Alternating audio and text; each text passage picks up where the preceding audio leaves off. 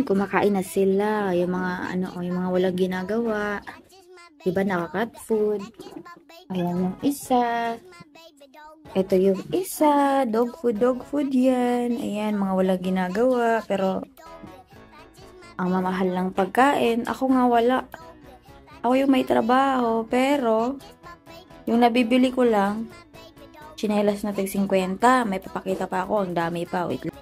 So, ayan pa. Ito, mga walang ginagawa. Ayan, puro dede lang. Ganyan. Ito pa. Ito yung mga bulinggit na yan. Ito pa, yung nanay. Ayan. Ayan, mas malala yan. Oh.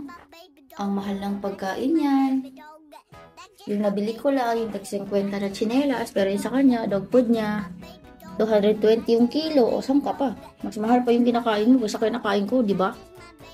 Wala ka namang ginagawa. Wala magtrabaho ka, Lexi, para mabili mo yung dog food mo na mahal. Ako yung nagtatrabaho. Ha? Ako yung bibili para sa dog food mo. Hmm. Kawawa naman ako. Hmm. Tapos, ayan, ayan, nagdidede yung mga pangit, oh. Diba? Tulog-tulog, patulog-tulog na kayo, magbusibangon na kayo. Kumilos kayo sa bahay, ha? Puro kayo tulog, dede, walang ginawa, ha? Uy, nako, oh. Hmm? Hmm? Hmm? Mga ano to, oh. Ayan, oh. Mga libre. Ay, nako, talaga naman, oh. Huh? Huh? Nakikita mo mukhang to? Mag-iingat kayo sa mukhang to. Huh? With, ano pa yan? Dog food, tapos milk. Sana all.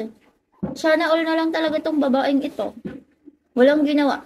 Kain lang. Ayan, oh, ayan, oh. oh nagdagdag pa, oh. Hmm? Ito yan. Hmm. Hmm. Ito pa. Oo, oo, oo. Diba? Nagagalit na ako. Grabe naman. Tapos ako yung nagpagod. Ako yung nagpuyat. Gumising ng maaga para pumasok. Pambili ng dog food. Sana all. Hmm. Yung mga pusang gala pa. Bumupunta sa bahay. O, diba? Wala na. Anong bibilin mo sa akin, Lexi? Ha? Anong bibilin mo sa akin? Ha?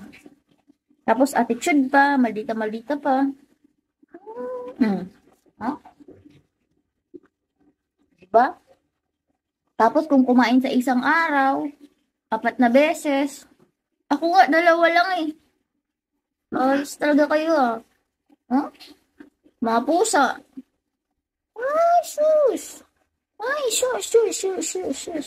Ito eh, bibi, bibi, ikot mama naman eh. Hmm, diba mga gutom?